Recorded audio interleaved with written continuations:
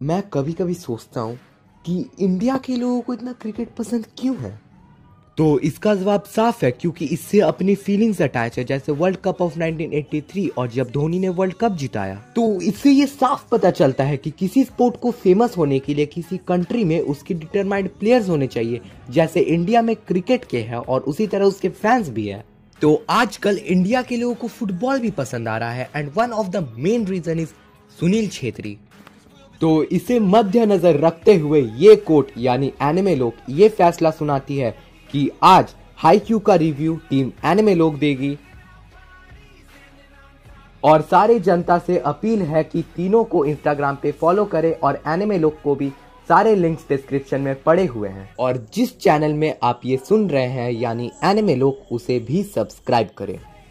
तो hello guys तो आज का रिव्यू मैं दूँगा। सो लेट्स स्टार्ट तो हाईक्यू एक स्पोर्ट्स एनिमे है जो कि वॉलीबॉल पे बेस्ड है। मुझे पता है कि ज़्यादातर लोगों को वॉलीबॉल के बारे में पता होगा बट रूल्स या कैसे खेलते हैं वही पता होगा। इसी चलते बहुत लोगों ने ये एनिमे नहीं देखा होगा। तो यार, यही रीज़न था कि मैंने ये एनिमे कुछ टाइम के लिए नहीं देखा था। बट फिर मेरे दोस्त ने रिकमेंड किया, फिर मैंने देखा। और सच में, आज ये एनिमे देखने के बाद मैं किसी भी वॉलीबॉल टीम का कोच भी बन सकता हूँ। मुझे सिर्फ़ ये एनिमे देख के इतना नॉलेज हुआ है। तो हाई क्यू एक शोनेन एनिमे है, जिसका मेन कैरेक्टर का नाम है शोया हिनाता जिसकी हाइट छोटी होती है और वॉलीबॉल खेलने के लिए हाइट बहुत ज़रूरी होती है। बट उसकी हाइट उतनी नहीं होती, लेकिन फिर भी वो बहुत ऊँचा कूद सकता है और उसके रिफ्लेक्सेस भी बहुत तेज हैं। बचपन में जब वो छोटा था तो उसे भी वॉलीबॉल में कोई इंटरेस्ट नहीं था। फिर एक दिन उसने एक शॉप में एक लड़के को नेशनल लेवल पे वॉलीबॉल खेलते हुए देखा, जिसकी हाइट भी छोटी थी, पर उसका निकनेम था लिटिल जाइंट जिससे उसे वॉलीबॉल खेलने की प्रेरणा मिली। जूनियर स्कूल तक उसके पास कोई टीम नहीं थी और ना ही उसके स्कूल की थी, बट फिर उसने अपने कुछ दोस्तों को बोलकर एक टीम बनाई बट वो लोग अच्छे प्लेयर्स नहीं थे। वो लोग बस हिनाता के कहने पर ही खेल रहे थे। हिनाता की टीम एक टूर्नामेंट खेलने गई थी, जिसमें वो पहला राउंड में ही हार जाते हैं।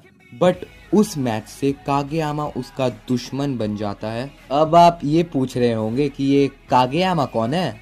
तो मैं आपको बता दूँ, वो मेन कैरेक्टर ही है बट सेकंड मेन कैरेक्टर और हाईक्यू की स्टोरी इन्हीं दो लोगों पर बेस्ड है बट हिनाता के ऊपर थोड़ी ज़्यादा फोकस की गई है। तब वो दोनों एक ही स्कूल में कोइंसिडेंस चले जाते हैं, जिसका नाम कारासोनो हाई स्कूल था और वो पहले बहुत स्ट्रॉन्ग टीम थी और वो एक बार फाइनल्स में भी गई थी।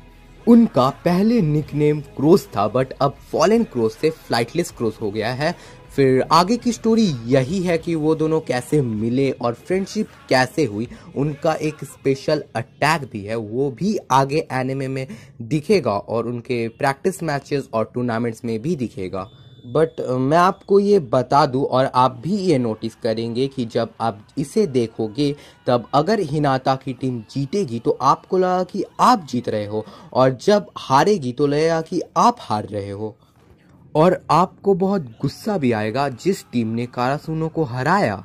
मतलब कि आप एकदम इस एनिमे से अटैच हो जाओगे और आपकी फीलिंग्स भी अटैच हो जाएगी। अब मैं आपको एक इंटरेस्टिंग सा फैक्ट बताने वाला हूँ जो सुन के आप एकदम से हैरान हो जाओगे।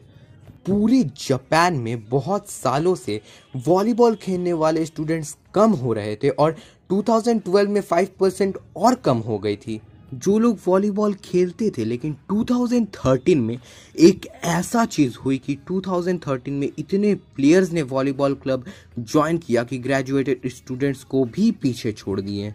और अगले साल और भी बढ़ते गए और इसका रीज़न था कि फरवरी 20 2012 में हाईक्यू के राइटर ने हाईक्यू मांगा पब्लिश की शोनेन जंप ने अपने वीकली एडिशन में और 2015 के 6 अप्रैल को प्रोडक्शन आईजी ने इसकी एनिमे एयर करना स्टार्ट किया, तब से आज तक वॉलीबॉल जापान में बहुत ज़्यादा ही फ़ेमस हो गया है और अभी भी इसके बहुत ज़्यादा फैंस है।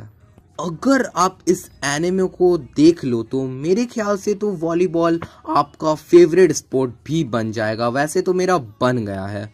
अब इस एनिमे की रेटिंग्स पे आ जाते हैं तो माई एनिमे लिस्ट पे इसको मिली है 8.57 स्टार्स इस एनिमे के एनिमेशन भी बहुत अच्छी है। जिस स्टूडियो ने इसे बनाया है, उसका नाम है प्रोडक्शन आईजी इस एनिमे के राइटर या मांगा राइटर का नाम हुरुइची फुरुदाते है। ये एनिमे मेरी तरफ़ से तो मस्ट वॉच है और आप इसे अपनी फैमिली के साथ भी देख सकते हो। इस एनिमे में ऐसा कुछ भी नहीं है जो आप इसे अकेले में देखो। तो चलिए दोस्तों, अब चलते हैं और अगर आप चैनल पे नए आए हो तो चैनल को सब्सक्राइब करके बेल आइकन को ऑल पे प्रेस कर दीजिएगा और वीडियो अच्छी लगी तो वीडियो को लाइक भी कर दीजिएगा। Bye bye